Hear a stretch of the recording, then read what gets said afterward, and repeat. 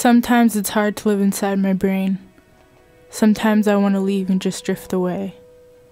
When I paint, I go into a trance and sometimes can't hear. When I'm angry, I can't draw or paint anything, it just doesn't come out right. I'd rather destroy something. Seeing something broken makes me feel better because psychologically that's what people did to me. I paint the best when I'm peaceful or sad. Sad because of the loneliness of being misunderstood. The worst feeling I've felt is when I feel like I can't breathe and there's a tight sinking feeling in my chest and it feels like a never ending roller coaster of enough tears for a bath.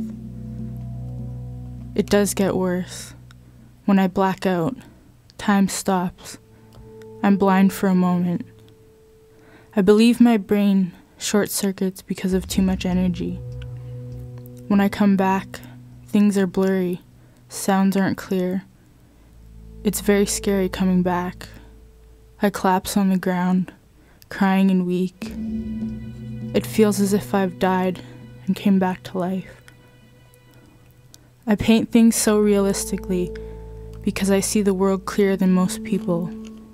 Therefore, my reality is more devastating when things go wrong. This makes me sensitive. Most of the time, I feel split. There's a part of me that's so strong and a part so weak. I do know I'm not alone in the battle against myself. I feel like I came from another planet. I don't know why, though I am not lost. Sometimes I love the world, sometimes I hate it. I was born with a warrior spirit, and I've been fighting every day of my life, but I can't fight alone forever. So I pray to the heavens to keep going. Still, I will never give in. I can't handle all of these overwhelming emotions like I can't handle all of these creative ideas. To me, craziness and creativity go hand in hand.